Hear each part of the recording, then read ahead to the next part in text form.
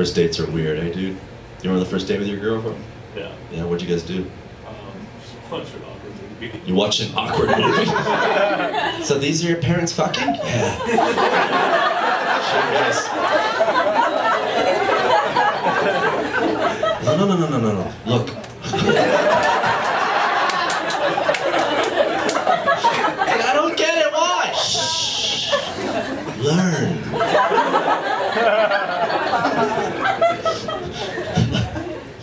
what was the awkward movie? You don't remember? That was, was that awkward? I just don't remember. You don't remember? Was it like a sad movie? Do you remember that? No. No. Do you have no recollection of anything that's happened? I don't know even if it was a girl or not. Was it a movie or were you looking through a window? I don't even know, man. It's all haze. It was all like two years ago. How long ago was it? Two years. Man, you're quite the romantic. I don't know where we did or what happened. I just know I'm with her right now.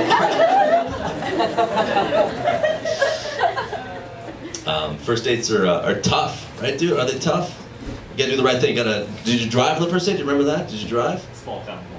Small town walked. Is that is that a thing? Want to do a small town walk? Yeah. There's the barn. There's the shoppers. There's our home. Want to watch my parents fucking movie?